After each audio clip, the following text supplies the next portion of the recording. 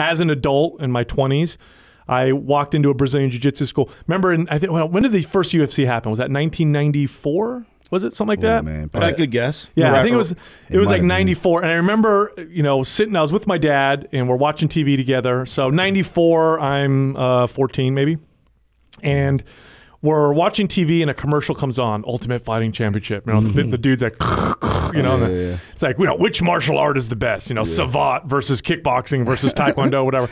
And so my dad's like, oh, he goes, uh, the the the judo or the jujitsu guy is gonna win for sure. And I'm like, no way. I'm like, this is crazy.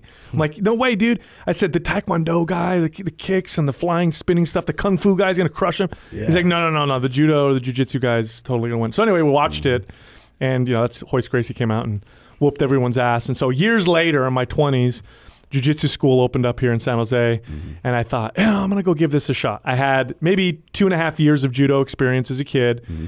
and I'd been lifting weights since I was 14. I'm a I'm a pretty bulked out 215, 220 pound dude, and I went in there thinking.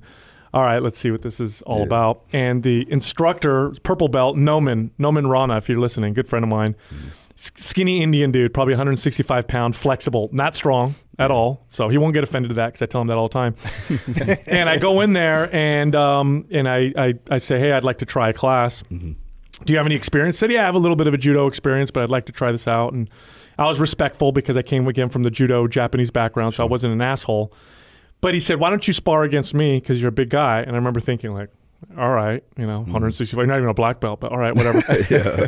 And um, fucked me up. Like Yeah. in in five minutes, I tapped out. I remember the first thing I did. You know what I did, Phil? I, I knew the guard existed, right? Because I watched UFC. So I thought to myself, you know what's going to be a good move? Because I'm strong. I'm going to grab underneath his, His his, his pants Oh, yeah. and I'm going to flip him up on his head and fold him in half and then grab him. Wow. Right? This was like in my mind. So I'm- that's what I did. So we, you know, we, we shake hands and he sits down on his butt because he's, you know, trying to be cool. Yeah. And I grabbed him and I folded him half. And I have no idea how he ended up behind me, choked mm. me out.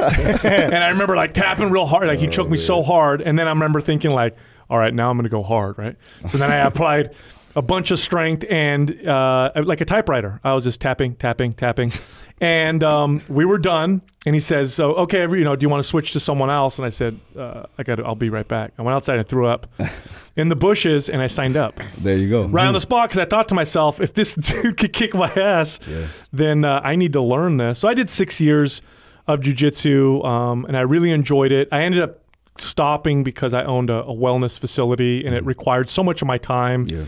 The drawback of uh, jujitsu uh, from for for me was that I needed to train with other people, and so I had to rely on classes or other people's schedule, and I just couldn't do it. Yep. So I was still lifting weights because I could do it on my own, and ended up you know not going back